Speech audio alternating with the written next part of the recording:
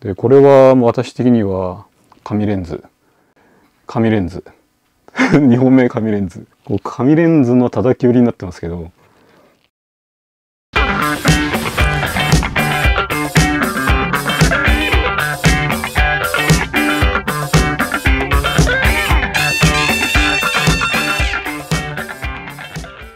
皆さんこんにちは。写真家の太田康です。今回の動画は EOSR3 の導入を機に、まあ、RF レンズへの移行っていうのを進めていたんですけども、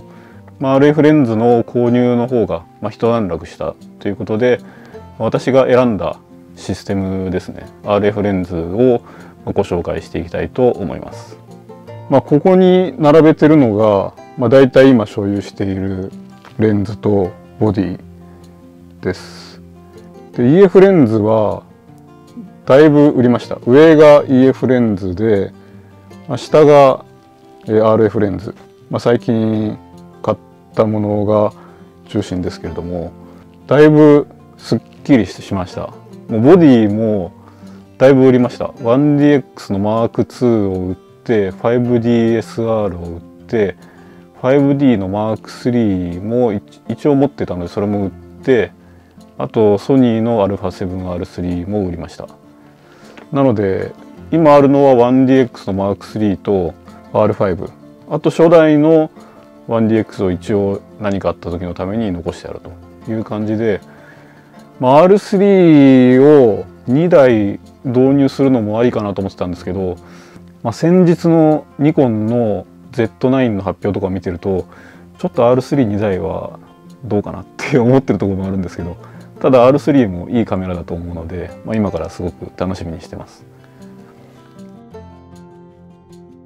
ということでどんな感じでレンズを入れ替えていったかっていうところを説明していきたいんですけどもまず大前提として、まあ、EF レンズで、まあ、個人的にあまり使いたくないなというふうに思っていたレンズを中心に RF 化していったというところが、まあ、基本的な考えになります。で EF レンズもすごくよく映るものはよく映るので、まあ、これだけ入れ替えていきましたけども特に不満がないものに関しては、まあ、無理に入れ替えなくて EF, EF のレンズをマウントアダプターを使って使っていくっていうのも、まあ、ありかなと思ってますので。でまずこの24105ですね。これはもうだいぶ前に買ったんですけどこれはやっぱり EF レンズの24105の F4 がの2型があんまり写りが好きじゃなかったのでまあまっすぐに買ったんですけども非常に写りが良くてよく使ってます。これは本当に誰にでもおすすめできる。まず最初の1本として買った方がいいなと思うレンズです。でその後なかなか RF レンズを購入してなかったんですけども次に買ったのはこれですね。70200の F2.8 でこれも EF の頃の EF7200 の F2.8 の2型を使ってたんですけどちょっとねあまり好きなレンズではなかった。本当に常に持ち出すぐらい使ってたレンズではあるんですけどもやっぱり大きくて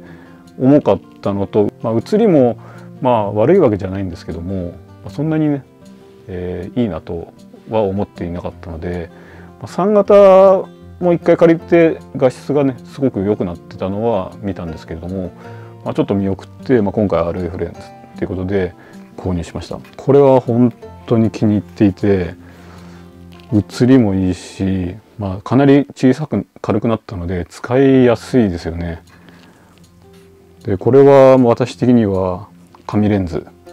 ていうことで RF レンズの私的紙レンズ認定っていうことになってます今のとこ。で紙レンズの基準はまああくまで個人的な見解なんですけども EF の時は1本だけです 300mm の F2.8 の2型、まあ、3ニッパと言われるレンズがあるんですけども、まあ、今も持ってるんですけどもあれは本当に EF レンズの中で一番気に入っていたまあ、軽くて写りも最高でもうポートレートからスポーツまでもう本当幅広く使える。そういう本当にね買ってよかったと思ってる。もう今でも使っていきたいレンズではあるんですけども、3ニッパが EF レンズでは唯一私的には唯一の紙レンズということなので、まあ、RF レンズ7200を私的に紙レンズに認定してあります。はい、でこの後にどのレンズを購入していくかっていうのを、まあ、正直言うとすごく悩みました。で普通であればまあ大三元ズームを揃えていくっていうことで2470の F2.8 と1535の F2.8 これをまあ買っていこうと思ったんですけれどもやっぱりどうしてもあの2つのレンズはあの太さ重さ扱いづらさこれがやっぱり非常にやっぱ気になったんですよね。あくまで個人的な意見ではあるんですけれども買っても多分使わないだろうなという結論に達しました F4 の24105はまあ写りはいいんですけどもそれでもある程度絞ってあげた方が、まあ、よりねいいっていうことでもっと F2.8 の大三元ズームを見送ったことでもっとクオリティの高さを求めていくためには、まあ、単焦点を揃えていった方がいいかなというふうに思って、まあ、標準ズーム域は、えー、この 50mm の F1.2 をこれを購入しました。でキヤノンさんからも借りていて、まあ、実には実は今家に2本 50mm の F2.2 あるんですけども、まあ、本当はですねこの標準ズーム域はまあ、2470の F2.8 がちょっといまいちだったんで28の 70mm の F2 ってありますよね。あれを買おうと思ってたんですね。まあ大きくて重いっていう意味ではあれは本当に大きくて重いんですけどもでもやっぱりちょっと写りがすごく印象的で標準ズーム域の F2 っていうところが私的には新鮮な使い勝手でもあったのであれを買おうと思ったんですがこの 50mm の F1.2 を借りたところこれはちょっとね感動しました。感動するぐらいの写りの良さで神レンズ。2本目神レンズ。こう神レンズの叩き売りになってますけど2本目の神レンズに早くも認定されました。はい。これは本当にねやっぱり 50mm っていうこのまた焦点距離がまあ基本と言われる画角でもあるじゃないですか。だから本当に写真を始めた頃は 50mm の単焦点1本しか持ってなかったので、まあ、それを使って写真を、まあ、フィルムを、まあ、24枚撮り1本を1日かけて撮ってくるみたいなそういうことをやっていたのが、まあ、ちょっと思い出すというか、まあ、改めてこの RF レンズになってこの 50mm を導入して、まあ、写真を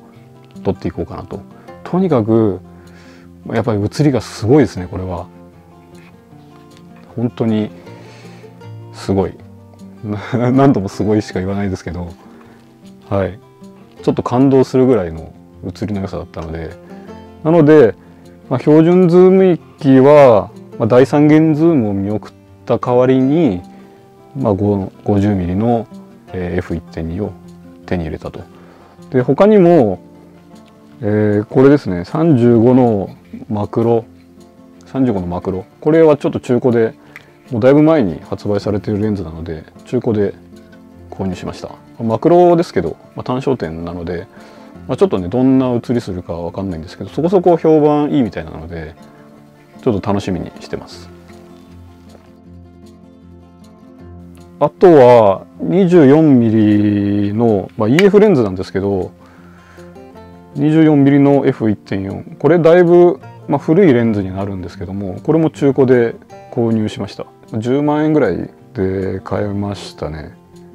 新品で買うようなレンズではないと思うんで、まあ、中古で、えー、十分かなと。そろそろこの 24mm の単焦点が新しくなりそうな気はしてるんで、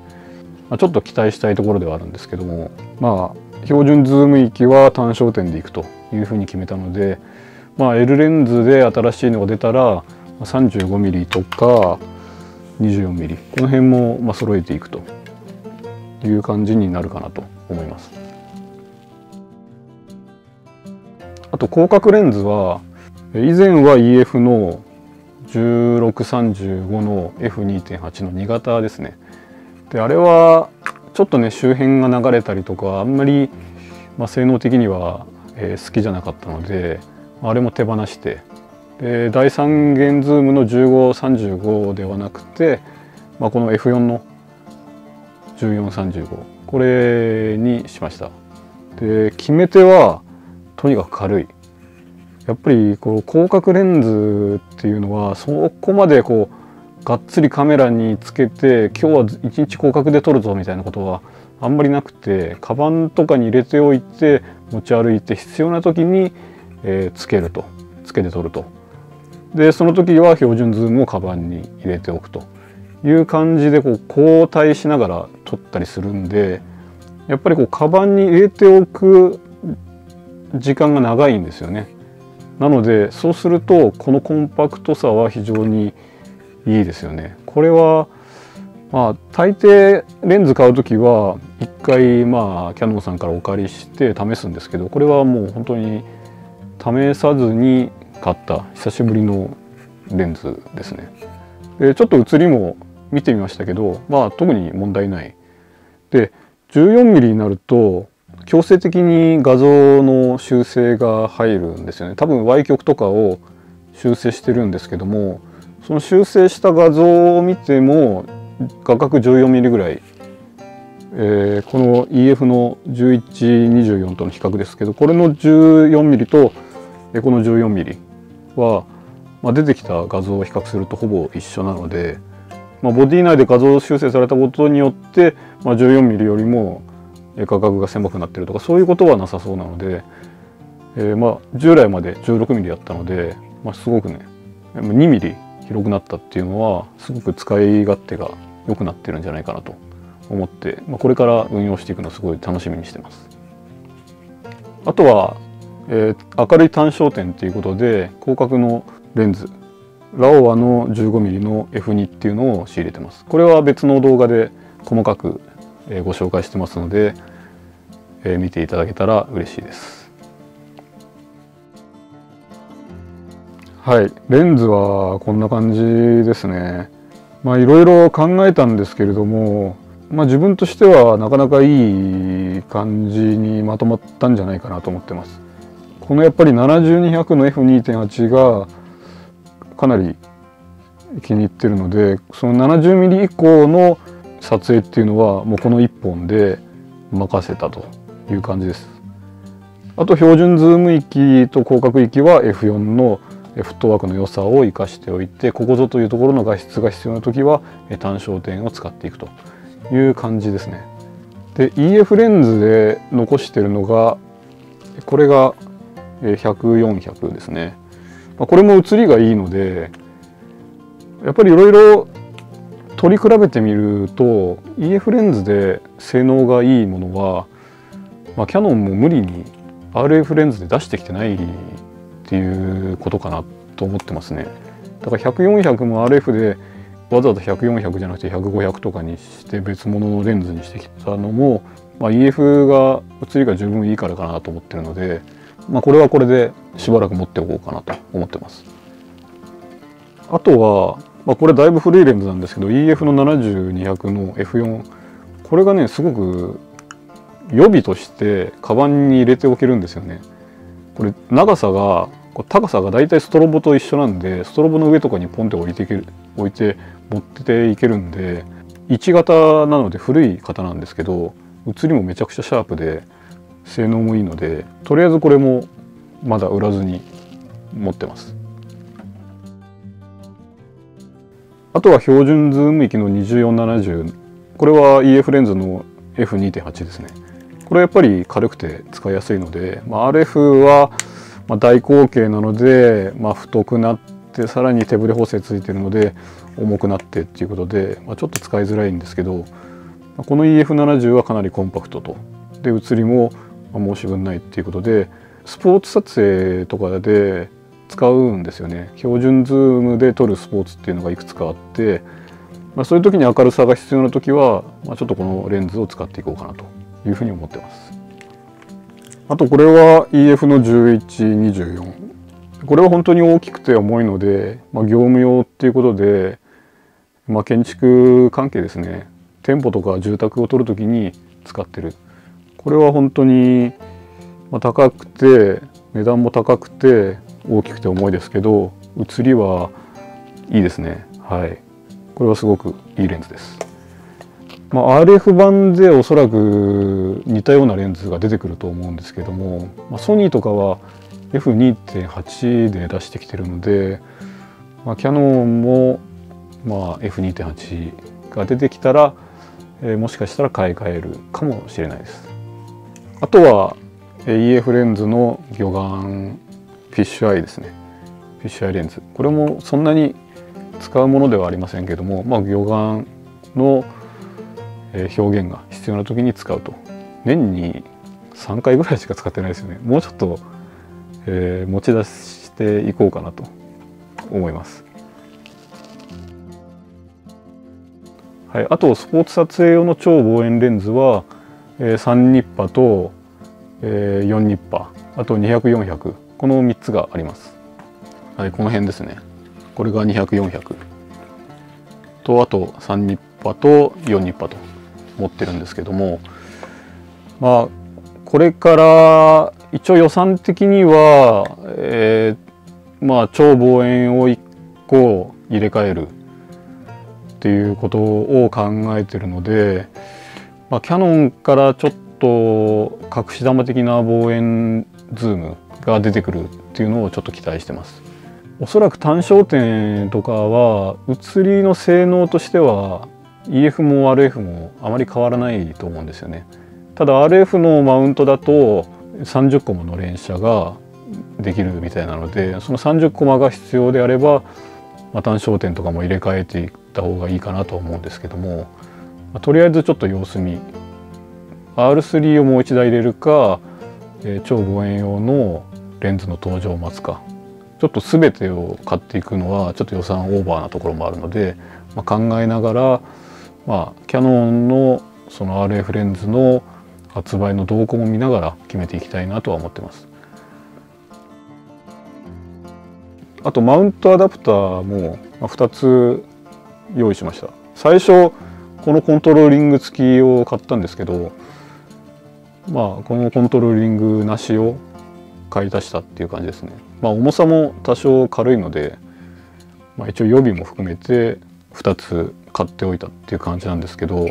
面白いのが以前はコントローリング付きが売り切れだったんですよね。R5 とか R6 が発売されたされた時にみんなこれを買ってこっちのコントローリングなしは結構在庫があったと思うんですよお店に。でも最近見るとこっちのコントローリングなしの方がよく売れてるみたいなんですよね。在庫切れが結構目立つなと。コントローリングちょっとね使いづらいですよね。どうなんですかね。コントローリングの有効な使い方みたいなのも動画にしようかなと思ったんですけどどっちかっていうと使わないよねっていう感じの動画になりそうなのでちょっとどうしようかなと思ってるんですけども。で今回レンズをまかなり購入して、えまあ、売却もしたんですけどもそれで思ったのがキヤノンのレンズはかなり高く売れたなと、まあ、ボディもそうなんですけども。えー、まあバンディ系のボディはかなり値崩れが激しいので、まあ、そこまでうまみはないと思うんですけども、まあ、特にレンズはかなりどのレンズも高く売れましたので新規で買う時は確かにかなりの値段だとは思うんですけれども実際持っておけば売る時にそれなりの値段がつきますので変に安いレンズとかあまり人気のないレンズを買うよりはいいものを買っておくと、まあ、後々の資産価値という意味でも、まあ、結構高値で売れますというところは、まあ、お伝えしておこうかなと思います。まあ、今回思ったよりも高く売れたおかげで単焦点レンズを購入していくという選択もできましたので、はい、キヤノンのレンズは買いです。はい、ということで今回は EF レンズから RF レンズ私が選んだ RF のシステムということでご紹介させていただきました。レンズの入れ替えの考え方とかは、まあ、人それぞれあると思いますけれども何か参考になりましたら、嬉しいと思います。それでは今回の動画はこの辺で終わりたいと思います。よければ高評価チャンネル登録の方をお願いします。それではまた次の動画でお会いしましょう。ご視聴ありがとうございました。